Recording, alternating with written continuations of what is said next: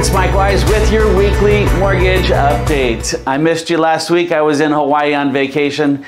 This week, mortgage rates, they drifted a little bit higher as Fed governors commented on further rate hikes. Retail sales for December came in strong and jobless claims, they came in lower as well as continuing claims fell as well. And all of those had a slightly impact on higher interest rates. So let me go into some of the details. Retail sales, they actually rose 0.6%, which was much stronger than the 0.4% that was coming out. So that was uh, the big question here is that the consumer, are they using credit to buy now and have to pay later? If this is the case, then we may actually see retail sales slow in the coming months because the consumer, they've actually got to pay for the debts that they've uh, incurred in December.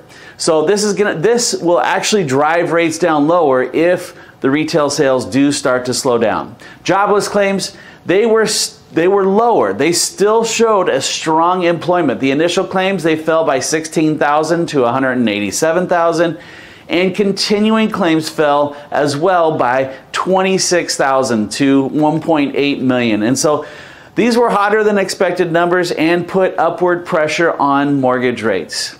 Finally, Fed governor and voting member Chris Waller said that the Fed is within striking distance of the uh, sustainable 2% PCE inflation target. Here's the kicker.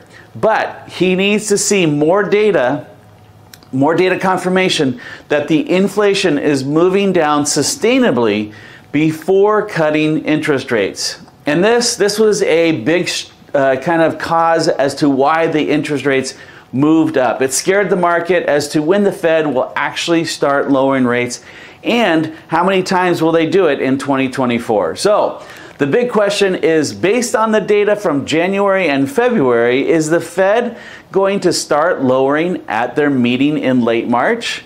My guess is that they will lower 0.25% because as the closer they get to election time, the more political it looks, and they will want to stay clear from this. So I think that they're going to start uh, dropping at the end of March. Exciting news at CMG, we just launched a new seven year ARM that is priced very competitively on loan amounts up to the conforming high balance limits in your county and to a maximum of a million dollars.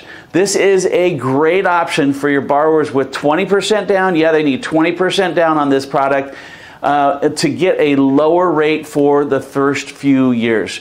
Uh, call me if you want to go over some of these rates. It looks like we can get pricing down into the fives with points. So uh, give me a call and we'll go through it. This is Mike Wise with your weekly update, and I will be around this weekend. Give me a call if you have any questions or need any borrowers pre approved.